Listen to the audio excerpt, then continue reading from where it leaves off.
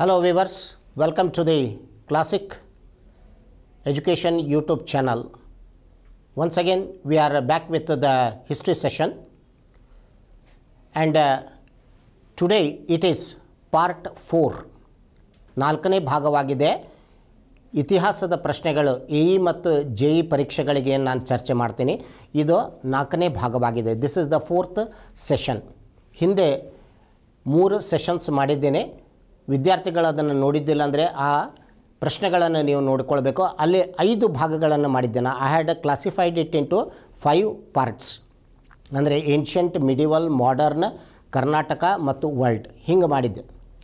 ಆದರೆ ಪ್ರಶ್ನೆ ಪತ್ರಿಕೆಯನ್ನು ಈ ಒಂದು ಟೂ ತೌಸಂಡ್ ನೈನ್ಟೀನಲ್ಲಿ ಏನು ಪರೀಕ್ಷೆ ನಡೀತೋ ಅದರ ಪ್ರಶ್ನೆ ಪತ್ರಿಕೆಯನ್ನು ತೆಗೆದು ನೋಡಿದಾಗ ಜೈ ಪರೀಕ್ಷೆಯಲ್ಲಿ ಏನ್ಷಂಟ್ ಇಂಡಿಯಾ ಮಿಡಿವಲ್ ಇಂಡಿಯಾದ ಮೇಲೆ ಭಾಳ there are more question on ancient India and medieval India so this session I have concentrated mainly on ancient and medieval India ಈ ಸೆಷನ್ನಲ್ಲಿ ಏನ್ಷಂಟ್ ಮತ್ತು ಮಿಡಿವಲ್ಲದ ಮೇಲೆ ಇಪ್ಪತ್ತೈದು ಪ್ರಶ್ನೆಗಳಿವೆ. The twenty five questions are concentrated on the ancient and medieval India I have not gone for the other part modern Karnataka and the medieval the world history medieval and the ancient part is discussed here so keeping that in view because more questions have come down from this here area ಹೆಚ್ಚಿನ ಈ ಒಂದು ಇಲ್ಲೇ ಪ್ರಶ್ನೆಗಳು ಬಂದದ್ದು ಈ ಒಂದು ನಾವು ನೋಡ್ತೀವಿ ಭಾಗದಲ್ಲಿ, ಪ್ರಾಚೀನ ಮತ್ತು ಮಧ್ಯಕಾಲದಲ್ಲಿ. ಅದರಲ್ಲೂ ಮತ್ತು ನೀವು ಹಾಗೆ ಗಮನಿಸಿದರೆ ಪ್ರಾಚೀನ ಕಾಲಕ್ಕೆ ಹೆಚ್ಚಿನ ಮಹತ್ವ ನೀಡಿದ್ದಾರೆ. Most importance is given to the ancient period so will try to understand here the important questions to be taken so starting here first site discovered of Indus valley civilization Sindhu ನಾಗರಿಕತೆಯ ಶೋಧನೆ ಆದಂಥ ಮೊದಲನೇ ಸ್ಥಳ ಯಾವುದು ಅಥವಾ ಮೊದಲನೇ ನಗರ ಯಾವುದು? ಲೋಥಾಲ್, ಧೋಲ್ವೀರಾ, ಅಮ್ರಿ, ಹರಪ್ಪ. ನಾಲ್ಕು ಹೆಸರುಗಳಿವೆ. ಉತ್ತರ ಇದು ಅತಿ ಸರಳವಾಗಿದೆ. It's a very easy question and the answer is Harappa. ಅದಕ್ಕೆ ಉತ್ತರ ಹರಪ್ಪವಾಗಿದೆ. ಆದರೆ ಇನ್ನೂ ಕೆಲವು ವಿಷಯಗಳನ್ನು ಇದಕ್ಕೆ ಸಂಬಂಧಪಟ್ಟದ್ದು ನೆನ್ಪಿಟ್ಕೊಳ್ಳಿ. Just remember some aspects of this so Harappa is located on the banks of river Ravi ಸಿಂಧೂದ ಉಪನದಿಯಾದಂಥ ರಾವಿ ನದಿಯ ದಂಡೆ ಮೇಲೆ ಹರಪ್ಪ ನಗರ ಇದೆ. ಇದು ನಾವು ನೋಡ್ತೀವಿ ಸಿಂಧೂ ನಾಗರಿಕತೆ ಇದೆ. ಬೆಳಕಿಗೆ ಬಂದಂಥ ಮೊದಲನೇ ನಗರವಾಗಿದೆ. ನೈನ್ಟೀನ್ ಟ್ವೆಂಟಿ ಒನ್ ಹತ್ತೊಂಬತ್ತು ನೂರ ಇಪ್ಪತ್ತೊಂದು. ದಯಾರಾಮ್ ಸಹಾನಿ. ಈ ನಗರವನ್ನು ಬೆಳಕಿಗೆ ತಂದದ್ದು. Nineteen twenty one Dayaram Sahni year brought this city to the light so that was the year of the discovery of the Indus valley civilization it is taken ಇದಕ್ಕೆ ಮೊದಲು ಆ ಪ್ರದೇಶದಲ್ಲಿ ಭೂತ್ಕನ ನಡೆಸಿದ್ರು, ಸಿಂಧು ನಾಗರಿಕತೆಯ ಕೆಲವು ಅವಶೇಷಗಳು ಸಿಕ್ಕಿದ್ದು. ಅದು ಅಲ್ಲೇ ಚಾರ್ಲ್ಸ್ ಮಾಸನ್ ಅಂತ ಹೇಳಿ ಬರ್ತಾನೆ, ಅಲೆಕ್ಸಾಂಡರ್ ಕನಿಂಗ್ ಅಂತ ಹೇಳಿ ಬರ್ತಾರೆ, ಅವರು ಶೋಧನೆ ಮಾಡಿದ್ದರು but a very systematic excavation was carried out by here Dayaram Sahni and Harappa was the site that was brought to light and at that time A S I director archaeological survey of India director was Sir John Marshall Sir John Marshall ಆಗ ಪ್ರಾಚ್ಯ ಇಲಾಖೆದ ನಿರ್ದೇಶಕರಾಗಿದ್ದರು he was the director there Sir John Marshall ಅದಕ್ಕೆ ಈ ವಿಷಯಗಳನ್ನು ಇಲ್ಲೇ ಕೆಲವು ನೆನಪಿಟ್ಕೋರಿ, ಇದಕ್ಕೆ ಹರಪ್ಪಕ್ಕೆ ಸಂಬಂಧಪಟ್ಟದ್ದು. Indus valley civilisation belongs to which age Sindhu ನಾಗರಿಕತೆ ಯಾವ ಯುಗಕ್ಕೆ ಸೇರಿದೆ? So palaeolithic chalcolithic neolithic megalithic ಹಳೆ ಶಿಲಾಯುಗ, ಇಲ್ಲೇ ತಾಮ್ರ ಶಿಲಾಯುಗ, ಹೊಸ ಶಿಲಾಯುಗ ಮತ್ತು ಬೃಹತ್ ಶಿಲಾಯುಗ. So these are the mainly the choice that has been here mainly given paleolithic chalcolithic neolithic and megalithic so to which age Indus valley civilization belongs so the answer to this is chalcolithic chalco ಅಂದರೆ ತಾಮ್ರ lithic ಅಂದರೆ ಶಿಲೆ so it was Indus valley civilisation was a transition period from the stone age to the metal age and as you know that the first metal which was extensively used by man was copper ಅದಕ್ಕೆ ಶಿಲಾಯುಗದಿಂದ ಲೋಹಯುಗಕ್ಕೆ ಪರಿವರ್ತನೆ ಕಾಲ ಸಿಂಧು ನಾಗರಿಕತೆ ಕಾಲವಾಗಿತ್ತು ಮತ್ತು ಮಾನವನು ಬೃಹತ್ ಪ್ರಮಾಣದಲ್ಲಿ ಬಳಸಿದ ಮೊದಲನೇ ಲೋಹ ಅಂದರೆ ತಾಮ್ರವಾಗಿದೆ. It is mainly the copper ಅದಕ್ಕೆ ತಾಮ್ರ. So it is used stone here mainly weapons materials were also used so it is called as a chalcolithic ತಾಮ್ರ ಮತ್ತು ಶಿಲೆ.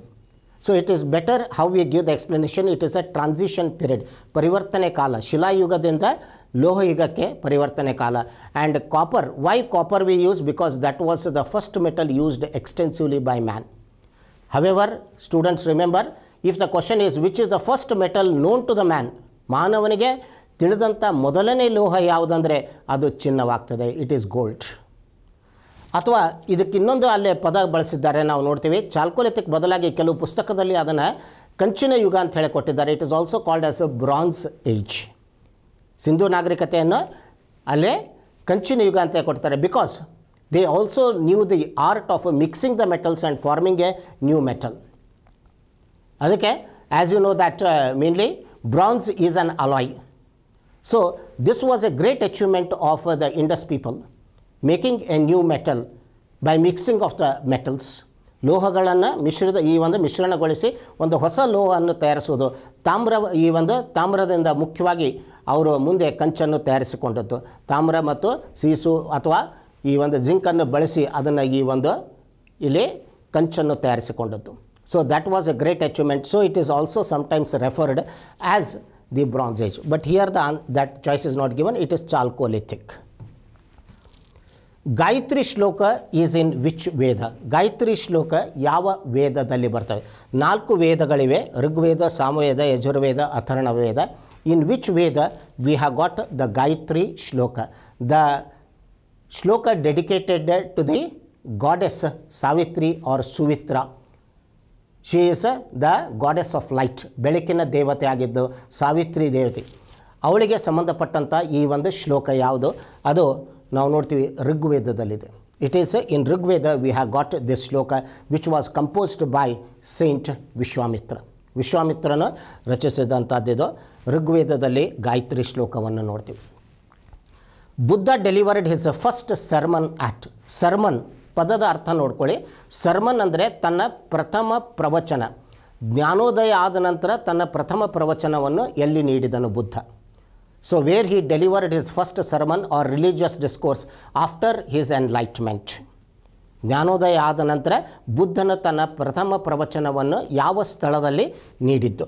So we have these four places given all are connected to Buddha ಇವೆಲ್ಲ ಬುದ್ಧನಿಗೆ ಸಂಬಂಧಪಟ್ಟದ್ದೇ ಇವೆ. So we have got Gaya Kushinagar Sarnath Shravasti ನಾಲ್ಕು ಬುದ್ಧನಿಗೆ ಸಂಬಂಧಪಟ್ಟಂಥ ಸ್ಥಳಗಳಿವೆ.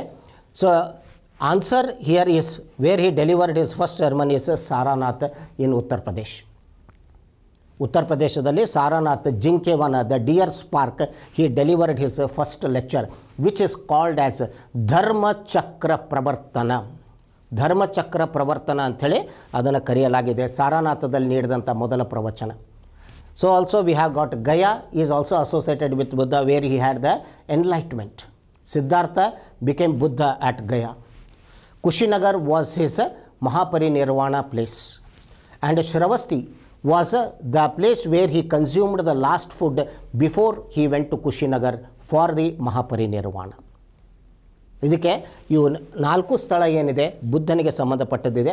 ಆದರೆ ಪ್ರಥಮ ಪ್ರವಚನವನ್ನು ನೀಡಿದ್ದು ಸಾರನಾಥದಲ್ಲಿ.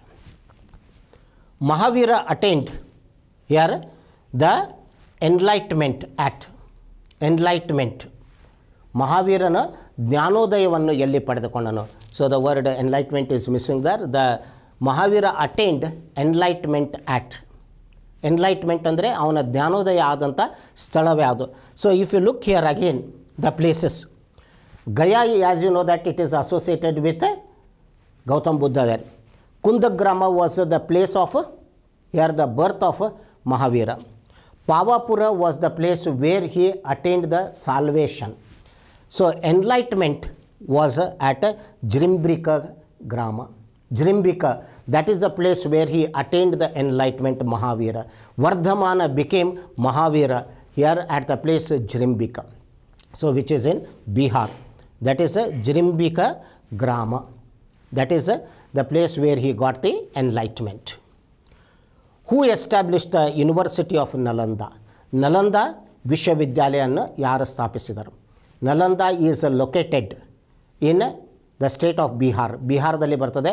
And this was one of the ancient educational centre of India established during the fifth century A D when the Guptas were ruling ಗುಪ್ತರು ಆಳ್ತಾ ಇದ್ದ ಸಂದರ್ಭದಲ್ಲಿ ಐದನೇ ಶತಮಾನದಲ್ಲಿ, ನಾಲ್ಕುನೂರ ಐವತ್ತು ಕ್ರಿಸ್ತ ಶಕದಲ್ಲಿ ನಲಂದ ವಿಶ್ವವಿದ್ಯಾಲಯ ಸ್ಥಾಪನೆಯಾಗಿತ್ತು. And the founder of this was Kumaragupta the first ಒಂದನೇ ಕುಮಾರಗುಪ್ತ ನಲಂದ ವಿಶ್ವವಿದ್ಯಾಲಯವನ್ನು ಸ್ಥಾಪಿಸಿದ್ದು and Nalanda university today is included the ruins of Nalanda is included in the UNESCO world heritage site ಈಗ ಈ ಅವಶೇಷಗಳೇನಿವೆ, ಅವುಗಳನ್ನು ಯುನೆಸ್ಕೋ ವಿಶ್ವ ಪರಂಪರೆ ಪಟ್ಟಿಯಲ್ಲಿ ಅವನ್ನು ಸೇರಿಸಲಾಗಿದೆ. So who established the university of Nalanda here is Kumaragupta the first ಒಂದನೇ Kumaragupta so previously it had been asked here Vikramashila ಕೇಳಿದ್ರಾಗ ಧರ್ಮಪಾಲನ ಸ್ಥಾಪನೆ ಮಾಡಿದ್ದು ಹಿಂದಿನ ಪರೀಕ್ಷೆಯಲ್ಲಿ in your previous university here mainly the examination they had asked the university of Vikramashila who had established ಅದಕ್ಕೆ ಉತ್ತರ ಧರ್ಮಪಾಲವಿದೆ ಹಿಂದಿನ ವರ್ಷದ ಪರೀಕ್ಷೆಯಲ್ಲಿ ಅದನ್ನು ಕೇಳಿದ್ರು ಇಲ್ಲೇ ಇದನ್ನು ನಲಂದಾದ ಬಗ್ಗೆ ಕೊಟ್ಟಿದ್ದೀನಿ ಅಲ್ಲಿ Kumaragupta the first who had the title Shakari Shakari ಎಂಬ ಬಿರುದು ಯಾರಿಗೆ ಇತ್ತು ಚಂದ್ರಗುಪ್ತ ಸೆಕೆಂಡ್ ಸಮುದ್ರಗುಪ್ತ, ಹಾಲ, ಗೌತಮಿ ಪುತ್ರ ಸಾತಕರ್ಣಿ. ಈ ನಾಲ್ಕು ಹೆಸರುಗಳನ್ನು ಈ ಒಂದು ಕೊಟ್ಟಿದ್ದಾರೆ. ಅದರ ಶಕಾರಿ ಬಿರುದು ಯಾರಿಗಿತ್ತು? So Shakari was the title which was there for Chandragupta the second Gupta ಮಂಥನದ ಪ್ರಸಿದ್ಧ ದೊರೆಯಾದಂಥ ಎರಡನೇ ಚಂದ್ರಗುಪ್ತ ಅಥವಾ ಚಂದ್ರಗುಪ್ತ ವಿಕ್ರಮಾದಿತ್ಯ ಅಂತ ಹೇಳ್ತಾರೆ. Chandragupta, Vikramaditya here had this title Shakari when he defeated the Shakas. ಶಕರನ್ನು ಏನು ಅವನ ಸೋಲಿಸಿದನು. So he defeated the Shaka king Rudrasimha the third ಮೂರನೇ ರುದ್ರಸಿಂಹನನ್ನು ಏನು ಸೋಲಿಸಿದ್ದ? ಶಕರ ಕೊನೆ ಅರಸ ಅಂತ ಹೇಳ್ತಾರೆ. So that was the achievement of Chandragupta the second and for this he takes the title as Shakari. Shakari ಅಂಥೇಳಿ ಬಿರುದನ್ನು ತೆಗೆದುಕೊಳ್ತಾನೆ. ಅದೇ ರೀತಿಯಾಗಿ ಇದು ಒಂದು ನೆನ್ಪಿಟ್ಕೊಂಡಿರಿ. ಗೌತಮಿ ಪುತ್ರ ಸಾತಕರ್ಣಿ ಶಾತವಾಹನರಿಗೆ ಸಂಬಂಧಪಟ್ಟದ್ದು. ಇವನು ಕೂಡ ಅಲ್ಲೇ ಶಕರನ್ನು ಸೋಲಿಸಿ. ಹಿ ಡಿಫೀಟ್ಸ್ ದ ಶಕಾಸ್ ಅಲೆ ಎರಡನೇ ಶತಮಾನ ಕ್ರಿಸ್ತ ಶಕದಲ್ಲಿ it was in second century AD he defeats the Shakas the Shaka ruler Nahapana. ನಹಪನನನ್ನು ಮೇಲೆ ವಿಜಯವನ್ನು ಪಡೆದುಕೊಂಡ ಕಾರಣದಾಗಿ ಇಲ್ಲೇ Gautami Putra Satakarni the Satavahana king also had the title called as Shakakula Nashaka Gautami ಪುತ್ರನಿಗೆ ಶಕಕುಲ ನಾಶಕ ಅಂಥೇಳಿ ಬಿರ್ದು ಬರ್ತದೆ. ಇವೆರಡು ಏನಿಲ್ಲ? ಚಂದ್ರಗುಪ್ತ, ಎರಡನೇ ಚಂದ್ರಗುಪ್ತ ಹಾಗೂ ಗೌತಮಿ ಪುತ್ರ ಸಾತಕರ್ಣಿ. ಇವರು ಶಕರನ್ನು ಸೋಲಿಸಿದ್ದಕ್ಕಾಗಿ ಅವು ಬಿರುದುಗಳಿವೆ. ಇಲ್ಲಿ ಚಂದ್ರಗುಪ್ತ ಸೋಲಿಸಿದ್ದಕ್ಕಾಗಿ ಶಕಾರಿ, ಗೌತಮಿ ಪುತ್ರನ ಸೋಲಿಸಿದ್ದಕ್ಕೆ Shakakula Nashaka.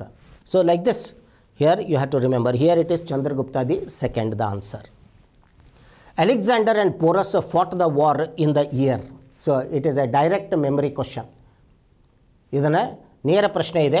ಪೋರಸ್ಸನಿಗೂ ಮತ್ತು ಅಲೆಕ್ಸಾಂಡರ್ನಿಗೂ ಯಾವ ವರ್ಷ ಯುದ್ಧ ನಡೆಯಿತು? Alexander was the Greek king and the Indian king who faced Alexander was Porus and the year which it was fought was three twenty six B C ಮೂರುನೂರ ಇಪ್ಪತ್ತಾರು ಕ್ರಿಸ್ತಪೂರ್ವ it was fought on the banks of river Jhelum Jhelum ನದಿ ದಂಡೆ ಮೇಲೆ ನಡೆದದ್ದು Alexander ಅದರಲ್ಲಿ ವಿಜಯಶಾಲಿಯಾಗಿತ್ತು. ಮತ್ತು Greek ದಾಖಲೆಯಲ್ಲಿ ಇದೇ ಯುದ್ಧವನ್ನು ನಾವು ಹೆಡಾಸ್ವಸ್ ಕದನ ಅಂತ ಹೇಳ್ತೀವಿ. In Greek records it is called as Hydaspes battle that was between Alexander and Porus Porus was defeated year it was in three twenty six B C ಉಳಿದ ಮೂರು ಡೇಟ್ ಏನಿವೆ, ಇವು ಕೂಡ ಅಲೆಕ್ಸಾಂಡರ್ನಿಗೆ ಸಂಬಂಧಪಟ್ಟದಿದೆ ಅದನ್ನು ಒಂದು ಸ್ವಲ್ಪ ವಿಷಯ ಗಮನ ಇಟ್ಕೊರಿ. Three fifty six B C he was the birth year ಅವನು ಹುಟ್ಟಿದ ವರ್ಷವಾಗಿದೆ ಅದು.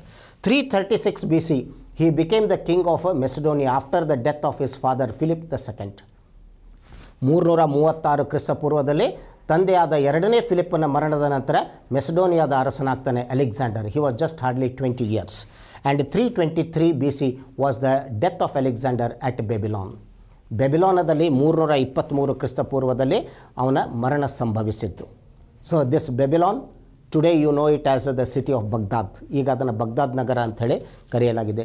So in your previous examination ಹಿಂದಿನ ಪರೀಕ್ಷೆಯಲ್ಲಿ ಅವನ ಮರಣದ ವರ್ಷ ಕೇಳಿದ್ದಾರೆ three twenty three B C I have just asked the year the year when the war took place year so three twenty six B C the war had been fought which dynasty architecture is called the here mainly Vesara architecture ಯಾವ ಮನೆತನದ ವಾಸ್ತುಶಿಲ್ಪವನ್ನು ವೇಸರ ವಾಸ್ತುಶಿಲ್ಪ ಅಂಥೇಳಿ ಕರೆದಿದ್ದಾರೆ.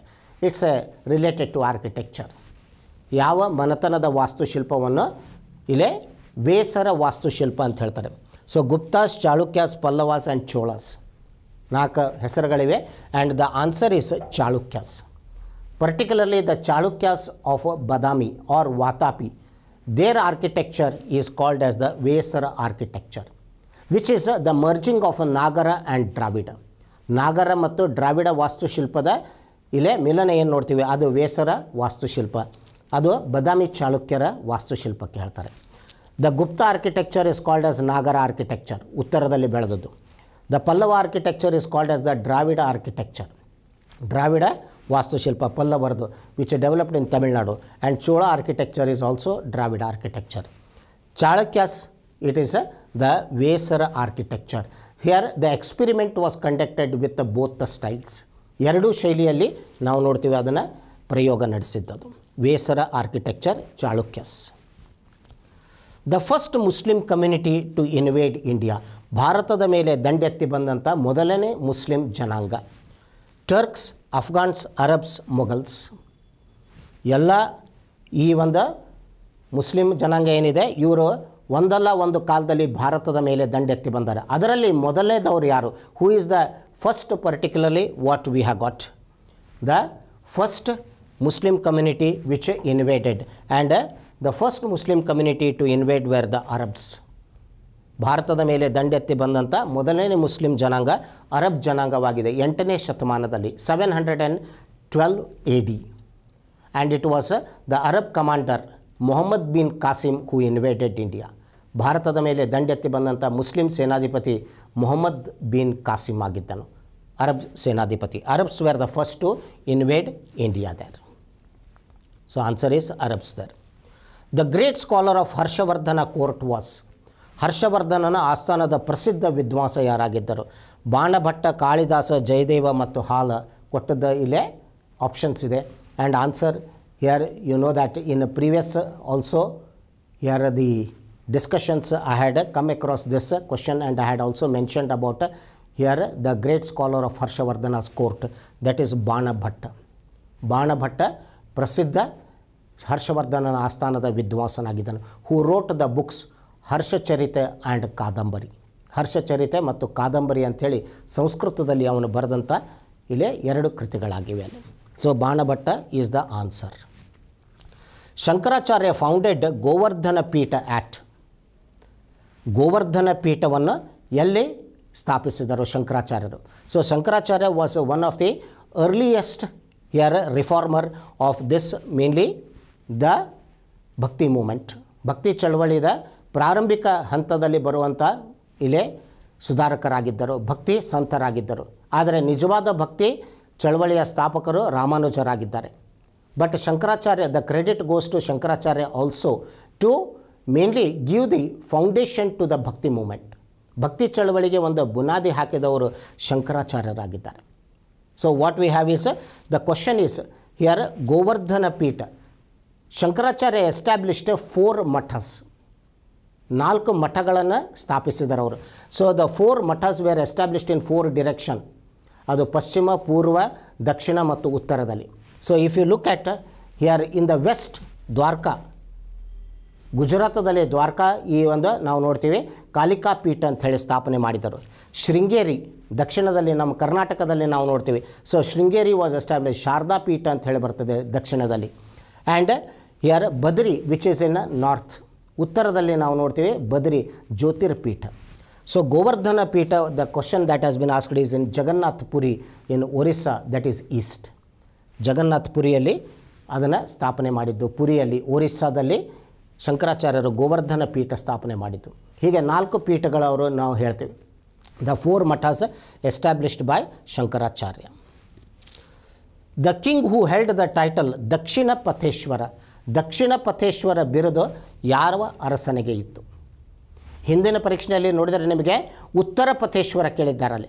So in your previous examination the question has Uttara Patheshwara ಯಾರ ಬಿರುದಾಗಿತ್ತು ಅಂತ ಕೇಳಿದ್ದಾರೆ. In your previous examination the question here is who held the title Uttara Patheshwara and that was Harshavardhana ಅದು ಹರ್ಷವರ್ಧನ ಆಗಿತ್ತು, ಅಲ್ಲಿ ಉತ್ತರ.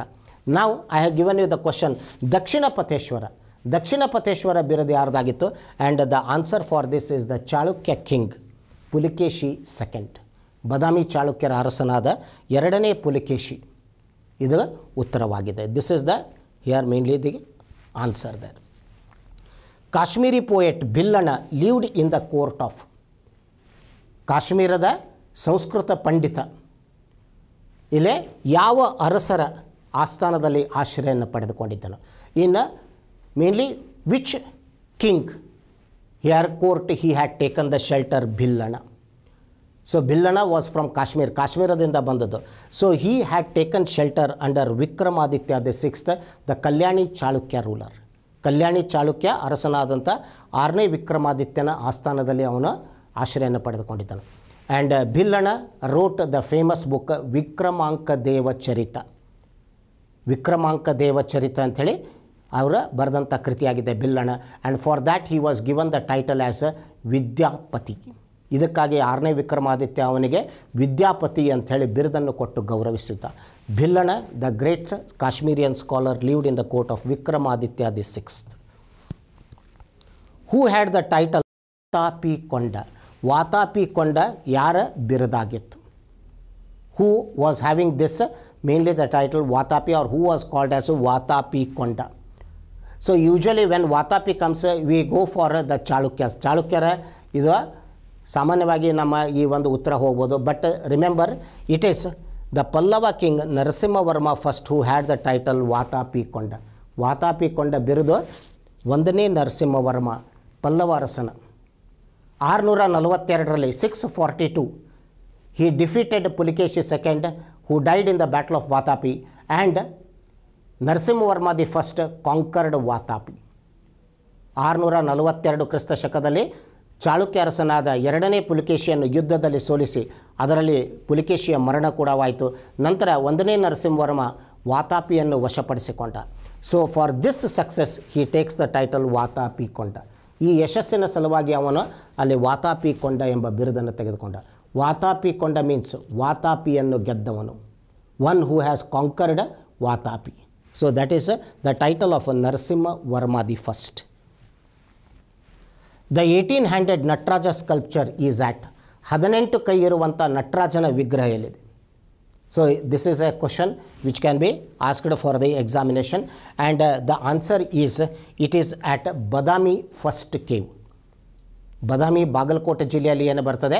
ಅಲ್ಲಿ ನಾಲ್ಕು ಗುಹೆಗಳಿವೆ. ಅದರಲ್ಲಿ ಒಂದೇ ಗುಹೆಯಲ್ಲಿ ನಾವು ನೋಡ್ತೀವಿ ಈ ನಟರಾಜನ ಹದಿನೆಂಟು ಕೈ ಇರುವಂಥ ನಟರಾಜನ ಶಿಲ್ಪಕಲೆ. This is one of the rare sculpture we have got which is here not found in any other place in India it is here at Badami we have got this eighteen handed the sculpture of Nataraja which reveals the 108 mudras of the ancient dance of India, that is Bharatanatyam. ಈ ಹದಿನೆಂಟು ಕೈ ಇರುವಂಥ ನಟರಾಜನ ವಿಗ್ರಹದಿಂದ ನಮಗೆ ನಮ್ಮ ಸನಾತನ ನೃತ್ಯವಾದಂಥ ಭರತನಾಟ್ಯಮದ ನೂರ ಎಂಟು ಮುದ್ರೆಗಳನ್ನು ನಾವು ಇಲ್ಲಿ ಗಮನಿಸಬಹುದು so one of the very important sculpture it is at Badami first cave the Sufi saint Gesu Daraz is popularly known as Gesu Daraz ಏನು ಇಲ್ಲೇ ಪ್ರಚಿತವಾಗಿ ಜನರು ಅವನನ್ನು ಏನಂತ ಕರಿತಾ ಇದ್ದರು. So the answers again Gharib Nawaz Banda Nawaz Chirage Delhi Jagadguru so Gesu Daraz was popularly known as Banda Nawaz Banda Nawaz ಅಂತ ಹೇಳಿ ಕರಿತಾ ಇದ್ದರು Gesu Daraz was the founder of the Sufism in the south and he lived at Gulbarga Gulbarga ಅಥವಾ ಈಗ ಅದಕ್ಕೆ ಕಲಬುರ್ಗಿ ಅಂತ ಹೇಳ್ತಾರೆ, ಅಲ್ಲಿ ವಾಸವಾಗಿದ್ದರು. He was popularly called by Hindus and Muslims as Banda Nawaz Banda Nawaz ಅಂತ ಹೇಳಿ ಕರಿತಾ ಇದ್ದರು. So that was Gesudaraz who founded the Sufi movement in south India ದಕ್ಷಿಣ ಭಾರತದಲ್ಲಿ ಹದಿನಾಲ್ಕನೇ ಮತ್ತು ಹದಿನೈದನೇ ಶತಮಾನದಲ್ಲಿ ಸೂಫಿ ಚಳವಳಿಯನ್ನು ಪ್ರಾರಂಭ ಮಾಡಿತು ಉಳಿದ ನೀವು ನೋಡಿದರೆ Gharib Nawaz. Gharib Nawaz here was the Sufi saint who is the founder of the Sufism in India ಭಾರತದಲ್ಲಿ ಸೂಫಿ ಚಳವಳಿಯನ್ನು ಪ್ರಾರಂಭ ಮಾಡಿದವರು ಖ್ವಾಜಾ ಮೊಯ್ಯುದ್ದೀನ್ ಚಿಸ್ತಿ, ಅಜ್ಮೇರದಲ್ಲಿ ಅವರ ದರ್ಗಾ ಇದೆ. ಅಲ್ಲಿ ರಾಜಸ್ಥಾನದಲ್ಲಿ ಅವರಿಗೆ ಗರೀಬ್ ನವಾಜ್ ಅಂತ ಹೇಳಿ ಕರಿತಾ ಇದ್ದರು Khwaja Nasiruddin was called as Chirage Delhi. Khwaja Nasiruddin Sufi ಸಂತರನ್ನು ಇಲ್ಲೇ ಚಿರಾಗೆ ದೆಹಲಿ ಅಂತ ಹೇಳಿ ಕರಿತಾ ಇದ್ರು. Jagadguru this was a popular your term used for Ibrahim Adil Shah the second ಎರಡನೇ ಇಬ್ರಾಹಿಂ ಆದಿಲ್ ಶಾನಿಗೆ ಬಳಸ್ತಾ ಇದ್ದರು Jagadguru. So he was popularly called by Hindus and Muslims as the Jagadguru. So Gesu Daraz was called as Banda Nawaz the word chaitya means chaitya ಪದದ ಅರ್ಥ ಏನು? Chaitya is a Buddhist monument ಇದು ಬೌದ್ಧ ಸ್ಮಾರಕವಾಗಿದೆ. It is a Buddhist monument so what does it mean so chaitya means the prayer hall ಬೌದ್ಧ ಸನ್ಯಾಸಿಗಳು ಆ ಸ್ಥಳದಲ್ಲಿ ಕೂತು ಪ್ರಾರ್ಥನೆಯನ್ನು ಸಲ್ಲಿಸುವಂಥದ್ದಕ್ಕೆ ಚೈತ್ಯ ಅಂತ ಹೇಳ್ತಾರೆ. ಹಾಗೆ ವಿಹಾರ ಅಂತ ಕೇಳಿದರೆ ಬೌದ್ಧ ವಾಸ್ತುಶಿಲ್ಪದಲ್ಲಿ ವಿಹಾರಗಳಂದರೆ ಬೌದ್ಧ ಸನ್ಯಾಸಿಗಳಿಗೆ ವಾಸವಾಗುತ್ತು viharas are the dwelling places of the Buddhist monks and stupas are the belief that it is containing the relics of Buddha. ಬುದ್ಧನ ಅವಶೇಷಗಳಿವೆ ಅಂಥೇಳಿ ಸ್ತೂಪವನ್ನು ಪೂಜೆ ಮಾಡ್ತಾರೆ ಅವರು. ಇಲ್ಲೇ ಕೇಳಿದ್ದು ಚೈತ್ಯ ಇದೆ. ಅದಕ್ಕೆ ಪ್ರೇಯರ್ ಹಾಲ್, ಪ್ರಾರ್ಥನಾ ಕೊಠಡಿ. It is a here prayer hall chehra and dagh were introduced by whom ಇವು ಎರಡು ಸೈನಿಕ ಸುಧಾರಣೆಗಳಾಗಿದ್ದವು. ಚೆಹ್ರಾ ಮತ್ತು dagh these were introduced here by Alauddin Khilji ಹನ್ನೆರಡು ನೂರ ತೊಂಬತ್ತಾರರಿಂದ ಹದಿಮೂರು ನೂರ ಹದಿನಾರರವರೆಗೂ ಆಳಿದ Alauddin Khilji the greatest ruler of the Khilji dynasty Khilji ಸಂತತಿಯ ಶ್ರೇಷ್ಠ ದೊರೆಯಾಗಿದ್ದನು who had the dream to conquer the whole world ಅಲೆಕ್ಸಾಂಡರ್ನ ಹಾಗೆ ಇವನಿಗೆ ಕೂಡ ವಿಶ್ವವನ್ನು ಗೆಲ್ಲುವ ಕನಸಿತ್ತು ಅಲಾವುದ್ದೀನ್ ಖಿಲ್ಜಿ. ಚೆಹ್ರಾ ಮತ್ತು ದಾಗ್ ಪದ್ಧತಿಯನ್ನು ತಂದನು. Chehra is maintaining the muster roll of the soldiers. ಸೈನಿಕರ ಒಂದು ದಾಖಲೆಯನ್ನು ಇಡುವುದು ದಾಗ್ ಅಂದರೆ ಅಶ್ವದ ಮೇಲೆ ಮುದ್ರೆಯನ್ನು ಹಾಕುವುದು. Dagh is branding of horses chehra is the maintaining the roll of the soldiers. ಈ ಪದ್ಧತಿ ತಂದದ್ದು ಅಲ್ಲೇ Alauddin Khilji ಆಗಿದ್ದನು. Who has the title second Shivaji ಎರಡನೇ ಶಿವಾಜಿ ಅಂಥೇಳಿ ಯಾರನ್ನು ಕರೆಯಲಾಗಿದೆ? ಮರಾಠ ಇತಿಹಾಸದಲ್ಲಿ ಬರ್ತದೆ ನಮಗೆ. So next here Shivaji who is known as a second Shivaji and the answer is Bajirao first ಹದಿನೇಳುನೂರ ಇಪ್ಪತ್ತರಿಂದ ಹದಿನೇಳುನೂರ ನಲವತ್ತು ಪೇಶ್ವೆ ಆಗಿ ಅವನು ಏನು? ಬಾಜಿರಾವ್ ಒಂದು. ಒಂದನೇ ಬಾಜಿರಾವ್. ಇವನು ಆಳ್ವಿಕೆ ನಡೆಸಿದ ಇಪ್ಪತ್ತು ಇಲ್ಲೇ ವರ್ಷ. Twenty years he ruled Bajirao first he has been called as the second Shivaji he was known for his wars ಯುದ್ಧಗಳಿಗಾಗಿ ಸಾಕಷ್ಟು ಇಲ್ಲೇ ಪ್ರಸಿದ್ಧನಾದಂಥ ಒಂದನೇ Bajirao. So he is called as a second Shivaji third battle of Panipat was fought between ಮೂರನೇ ಪಾಣಿಪತ್ ಕದನ ಯಾರ ನಡುವೆ ನಡೆಯಿತು? First Panipat battle fifteen twenty six ಅದು ನಡೆದದ್ದು ಬಾಬರ್ ಮತ್ತು ಇಬ್ರಾಹಿಂ ಲೋಧಿ ನಡುವೆ. Fifteen fifty six second battle of Panipat ಅದು ನಡೆದದ್ದು ಹೇಮಚಂದ್ರ ಮತ್ತು Jalaluddin Mohammad Akbar supported by his guardian Bairam Khan. ಅದು ಎರಡನೇ ಪಾಣಿಪತ್ ಯುದ್ಧ. ಮೂರನೇ ಪಾಣಿಪತ್ ಯುದ್ಧ ನಡೆದದ್ದು ಯಾವ, ಇಲ್ಲೇ, ಯಾರ ನಡುವೆ? So it was Marathas and Afghans ಮರಾಠರು ಮತ್ತು ಅಫ್ಘಾನರ ನಡುವೆ ನಡೆದದ್ದು. And the Afghan leader was Shah Abdali Shah Abdali ಅಫ್ಘಾನರ ನಾಯಕನಾಗಿದ್ದ. ಆ ಸಮಯದಲ್ಲಿ ಮರಾಠರಿಗೂ ಮತ್ತು ಅಲ್ಲಿ ಅವರಿಗೆ ನಡೆದಂಥ ಯುದ್ಧವಾಗಿದೆ. So that was the third battle of Panipat seventeen sixty one ಹದಿನೇಳುನೂರ ಅರವತ್ತೊಂದರಲ್ಲಿ ನಡೆದದ್ದು. The Mughal ruler who reintroduced jizya tax jizya ತೆರಿಗೆಯನ್ನು ಪುನಃ ಜಾರಿಗೆಗೊಳಿಸಿದವು the first thing you have to know jizya was collected here from the non Muslims ಮುಸ್ಲಿಮರಲ್ಲಿ ಇನ್ನಿತರ ಧರ್ಮದ ಜನರಿಂದ ಜಜಿಯಾ ತೆರಿಗೆಯನ್ನು ವಸೂಲಿ ಮಾಡ್ತಾಯಿದ್ರು ಇದು ಕುತುಬುದ್ದೀನ್ ಐಬಕ್ಕನ ಕಾಲದಿಂದಲೂ ವಸೂಲಿ ಆಗ್ತಾಯಿತ್ತು ಇದನ್ನು ಇಲ್ಲೇ ನಾವು ನೋಡ್ತೀವಿ. ಅಕ್ಬರ್ ಹದಿನೈದು ನೂರ ಅರವತ್ನಾಲ್ಕರಲ್ಲಿ ರದ್ದುಗೊಳಿಸಿದ್ದ. Akbar had abolished it in fifteen sixty four jizya tax was abolished jizya ತೆರಿಗೆಯನ್ನು ಅವನು ರದ್ದುಗೊಳಿಸಿದ ಹದಿನೈದು ನೂರ ಅರವತ್ತ್ನಾಲ್ಕರಲ್ಲಿ it was reintroduced in sixteen seventy nine by Aurangzeb ಹದಿನಾರುನೂರ ಎಪ್ಪತ್ತೊಂಬತ್ತರಲ್ಲಿ ಅದನ್ನು ಮತ್ತೆ ಜಾರಿಗೆ ತಂದದ್ದು Aurangzeb ಆಗಿದ್ದನು. Jizya tax was reintroduced by Aurangzeb. Akbar ರದ್ದು ಮಾಡಿದ್ದ ಮುಂದೆ ಇಲ್ಲೇ ನಾವು ನೋಡ್ತೀವಿ, ಔರಂಗಜೇಬ್ ಮತ್ತೆ ಪುನಃ ಆ ಜಜಿಯಾ ತೆರಿಗೆಯನ್ನು ಹೇರಿತ್ತು. So answer is Aurangzeb there Mohammad bin Tughlaq transferred the capital from Delhi to ದೆಹಲಿಯಿಂದ ರಾಜಧಾನಿಯನ್ನು ಮೊಹಮ್ಮದ್ ಬಿನ್ ತುಘಲಕ್ ಯಾವ ಸ್ಥಳಕ್ಕೆ ವರ್ಗಾಯಿಸಿದ್ದು? And the answer is Devagiri in Maharashtra Devagiri ಮಹಾರಾಷ್ಟ್ರದಲ್ಲಿ ಆ ಸ್ಥಳಕ್ಕೆ ತನ್ನ ರಾಜಧಾನಿಯನ್ನು ವರ್ಗಾವಣೆ ಮಾಡಿತು. He transferred the capital to Devgiri, which Mohammad bin Tughlaq renamed it as Daulatabad Mohammad bin ತುಗ್ಲಕ್ಕನು ದೇವಗಿರಿಗೆ ಹೊಸ ಹೆಸರನ್ನು ಕೊಟ್ಟದ್ದು Daulatabad even till today we know this here by the same name Daulatabad which is near Aurangabad ಮಹಾರಾಷ್ಟ್ರದಲ್ಲಿ ಔರಂಗಾಬಾದದ ಸಮೀಪದಲ್ಲಿ ಬರುವಂಥ ಸ್ಥಳ Daulatabad which was originally called as Devagiri ದೆಹಲಿಯಿಂದ ದೇವಗಿರಿಗೆ ರಾಜಧಾನಿಯನ್ನು ವರ್ಗಾವಣೆ ಮಾಡಿತ್ತು. Ramtanu Pandey was popularly known in the history with a name Ramtanu Pandey ಯಾವ ಹೆಸರಿನಿಂದ ಇತಿಹಾಸದಲ್ಲಿ ಅವನು ಪ್ರಸಿದ್ಧನಾಗಿದ್ದಾನೆ? So choice are Birbal Raja Todarmal Mansingh Tansen and the answer is Tansen his original name is Ramtanu Pandey and Tansen was one of the greatest ಸ್ಕ್ here the musician of Jalaluddin Akbar's court. Jalaluddin ಅಕ್ಬರನ ಆಸ್ಥಾನದ ಪ್ರಸಿದ್ಧ ಸಂಗೀತಗಾರ ತಾನ್ಸೇನ್ ಆಗಿದ್ದನು. ಅವನ ಮೂಲ ಹೆಸರು ರಮಾತೂನ್ ಪಾಂಡೆ ಆಗಿತ್ತು.